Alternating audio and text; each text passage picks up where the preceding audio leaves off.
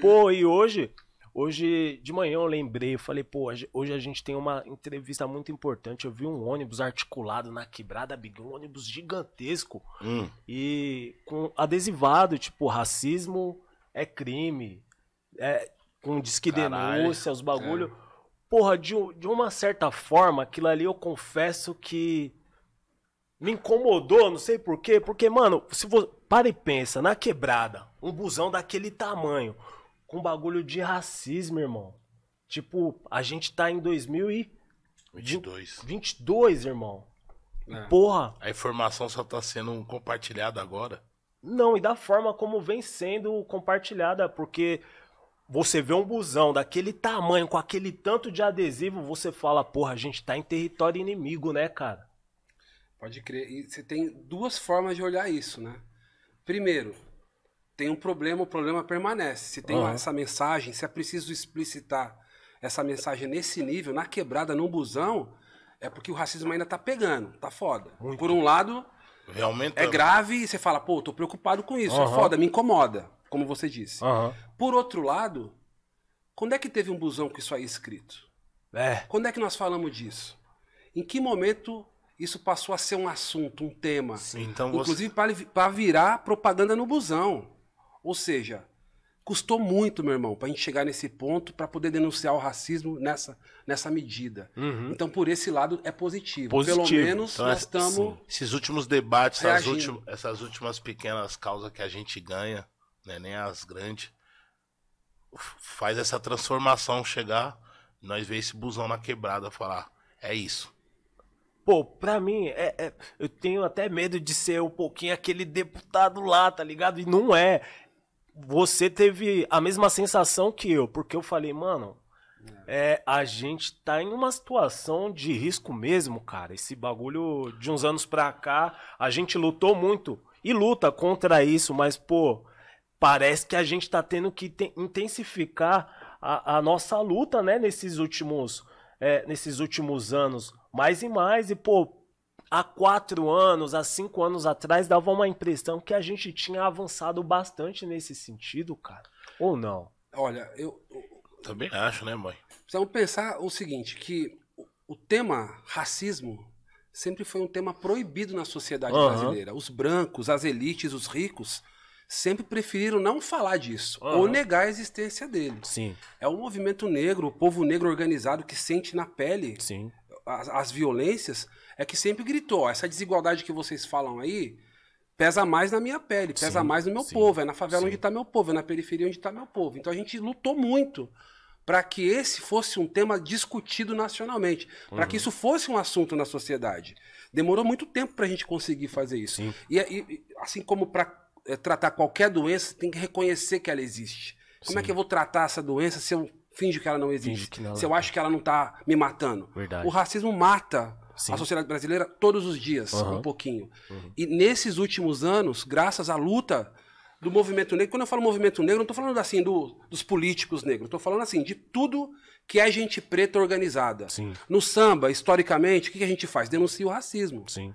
Na capoeira, No rap. no rap. No rap. Então isso tomou uma proporção e é graças a esse trabalho histórico que hoje é o seguinte, não dá mais para não falar de racismo. Sim, sim. Não dá mais. Sim. Isso é uma vitória nossa. Agora a próxima seria, temos que superar essa porra, isso tem que acabar um É. dia. Não dá para ficar convivendo com isso.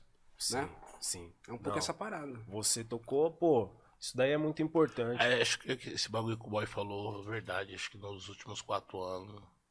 Últimos quatro anos que você Sim, falou, né? sim.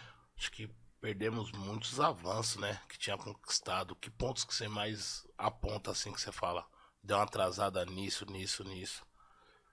Principalmente os pretos na- nas faculdades mesmo. Você, você vê que diminuiu bastante também É. os acessos. Pô, você tocou num ponto importante. Cara, o, o- lance é o seguinte: primeiro que a realidade do racismo, a gente vive isso desde sempre. Então, vocês são pessoas que eh, trabalham mais na área da cultura, nas artes, no hip hop e tal. Eu acho que talvez o rap seja o movimento hip hop que mais deu contribuição, que mais ajudou a massa da população a olhar para o racismo, a perceber o racismo, através do, do trabalho da cultura, das letras do rap e tal. Então, isso se transformou no tempo em a denúncia, ela sempre veio acompanhada de propostas de solução. A gente sempre falou, ó, tem racismo, a polícia mata muito, é muito violenta. Ao mesmo tempo, sempre veio uma proposta junto, ó, você tem que ter uma polícia que respeite direitos humanos. Sim. Não tem preto na universidade. Qual a nossa proposta? Nós denunciamos isso, por um lado, e por outro a gente sempre propôs, ó, tem que ter cotas, tem que ter política Sim. de acesso. Sim. Pô, o posto de saúde não tem médico, falta remédio. Não é uma novidade nenhuma para nós que moram em, em, em quebrada. Quebrada. Qual é a novidade disso? Sempre foi assim. Então a gente sempre levou junto a formulação, mano. Tem que ter investimento em educação, em saúde, em cultura, entretenimento para molecada, apoio para pra, as artes negras. Sempre a nossa denúncia veio acompanhada de proposta, mano. Sempre, sempre, sempre. Cara, que- é, quem é que mais sabe o que o moleque da quebrada precisa, senão a mãe dele? A família dele. Então sempre foi as propostas dessas pessoas que acompanharam a denúncia. Isso, com o tempo, se transformou em proposta de lei mesmo, em política pública. Então a gente estava vivendo anos em que as nossas ideias, as nossas denúncias, transformadas em propostas, estava tendo um pouco mais de espaço. Não que era uma maravilha, não que estava resolvendo os problemas, estava muito ruim ainda. Mas, mas a gente estava conseguindo Aham. é, é, levar, praticar algumas coisas. Aham. Até a Dilma ser deposta por um golpe e tal, você tinha governos que tinham essas propostas. Nos últimos quatro anos, a gente está experimentando um governo que é contra tudo isso.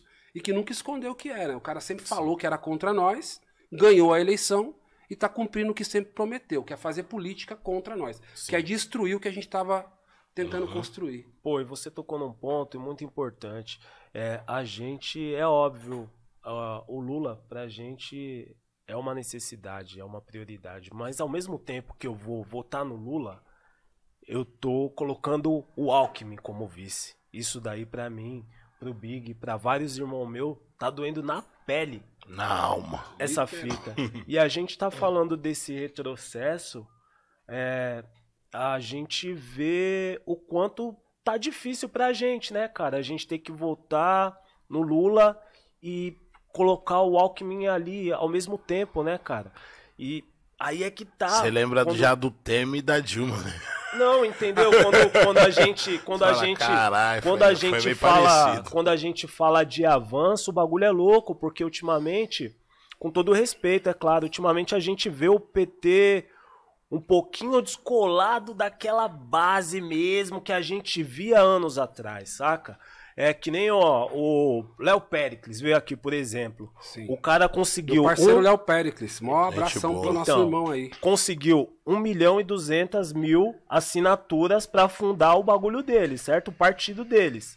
Uhum. A gente não, pelo menos eu, não consigo ver o PT dialogando com esse pessoal, que é uma força e que luta é, é, e defende as mesmas pautas que a gente. A gente não consegue ver essa essa força, a gente não consegue ver a, é, o, a gente vê conflitos do PT com o PSOL, por exemplo. Então a gente Que começa pensamentos parecidos, né? Entendeu? A gente começa a ficar como? Eu mesmo, infelizmente, esses dias eu falei, caralho, o PT pra mim tá, lembra tá lembrando um pouquinho o PSDB de vários anos atrás. Você vê mais ele no centro do que Da mídia. na esquerda, na esquerda. mesmo. Não, essa é a contradição do nosso tempo, diz respeito ao tempo que a gente está vivendo.